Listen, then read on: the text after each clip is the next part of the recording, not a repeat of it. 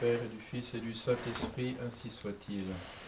Bien chers frères, en ce dimanche dans l'octave de l'Ascension, l'Église nous montre bien sûr les apôtres, les apôtres réunis au Cénacle avec la très sainte Vierge Marie, suivant donc ce qu'avait enseigné notre Seigneur. Notre Seigneur leur avait dit de ne pas quitter Jérusalem en attendant la venue du Saint-Esprit. Ce sont les actes des apôtres qui nous disent qu'ils priaient sans relâche dans le but de se disposer à la venue du Saint-Esprit.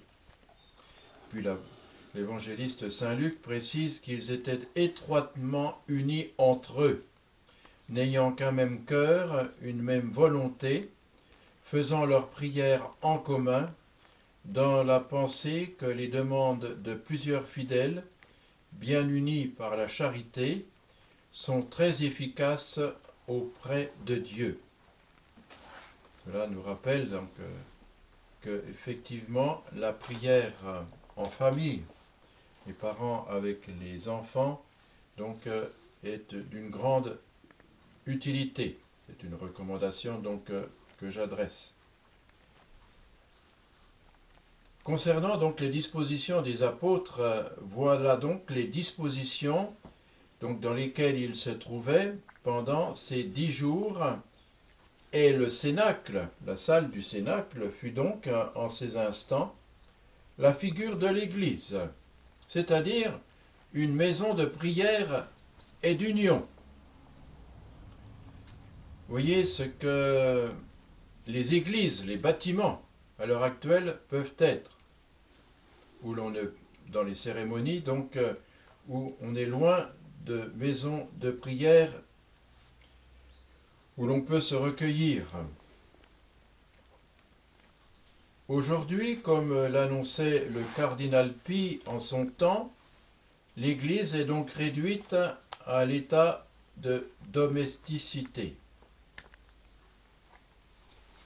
réduite à de petites communautés, pas toutes petites à certains endroits, mais à de petites communautés, communautés de prêtres, communautés avec quelques évêques, avec des religieux, des religieuses, il y a tout de même donc les communautés religieuses, et puis bien sûr les fidèles, vous mes bien chers frères, entre autres, qui faisait ces efforts, ces efforts que l'on connaît pour avoir la vraie messe, les vrais sacrements. La vraie messe, je le précise donc, euh, en étant dégagé de toute union avec l'hérétique au canon de la messe. Alors, dans ces conditions, L'exemple, parce que je pense que plusieurs personnes euh, savent quel déplacement vous faites, les dispositions dans lesquelles se trouvaient les apôtres nous vous sont donc précieuses. Et ce sont donc ces dispositions qu'il nous faut conserver. Nous pouvons conserver ces dispositions grâce à aux trois liens qui, vous le savez, nous unissent entre baptisés. Je vous les rappelle, ces trois liens que sont la même foi, la participation au même sacrement et la soumission au pasteur, l'Église donc nous le précise, le catéchisme nous le précise bien, au pasteur légitime. En continuant donc, donc d'observer en l'absence de pasteur légitime, tout ce que le véritable magistère de l'Église nous a enseigné. C'est pour cela que, d'une manière générale, nous disons nous gardons la tradition. Mais la tradition, comme certains donc voudraient euh, nous le faire croire, ce n'est pas uniquement de conserver, comme si on était euh, donc euh, des conservateurs et qu'on ne sache pas se se discipliner et qu'on ne sache pas transmettre cet enseignement de l'Église. La tradition, c'est de conserver et de transmettre. Ce sont les deux.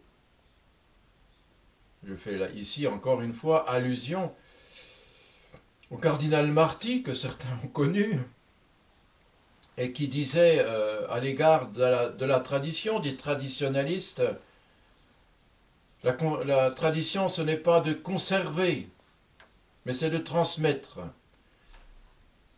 Éminence, je m'excuse, mais on ne peut pas transmettre ce qu'au départ on n'a pas conservé. Donc la tradition, c'est de conserver et de transmettre, c'est pas simplement de transmettre. Voilà, donc vous en critiquez par là, vous l'avez compris, le monde de la tradition, donc, euh, et là je me replace bien sûr déjà à quelques années en arrière, donc, puisque je parle de Monseigneur Marty, qui était archevêque de Paris. Alors donc nous conservons la tradition, c'est-à-dire nous continuons d'observer, en l'absence de pasteurs légitimes, tout ce que le véritable magistère de l'Église nous a enseigné. Alors tenons ferme dans cette même foi qui nous unit et dans la participation au même sacrement, en suivant aujourd'hui l'enseignement, ayons ces dispositions dans lesquelles se trouvaient les apôtres au Cénacle, qui n'avaient donc qu'un seul cœur, une même volonté, et qui priaient en commun, et qui priaient en commun avec la très sainte Vierge Marie. Rendez-vous compte, mes bien chers frères, quelle retraite spirituelle donc faisaient ainsi les apôtres donc au Cénacle en présence de la très sainte Vierge Marie. Alors il nous faut considérer donc les apôtres qui comprenaient combien la très sainte Vierge Marie notre-Dame, médiatrice de toute grâce, avait à elle seule plus de crédit auprès de son divin Fils que tous réunis. Alors à la suite de ces quelques considérations, demandons bien sûr à Notre-Dame ces vertus que les apôtres manifestèrent, l'humilité, la piété, la sainte vertu de religion d'une manière générale, la charité, dans les liens donc qui nous unissent entre nous, dans cette même foi, j'insiste, dans cette même participation au même sacrement valide et dans la même compréhension de la situation actuelle concernant les autorités, la situation actuelle de l'Église.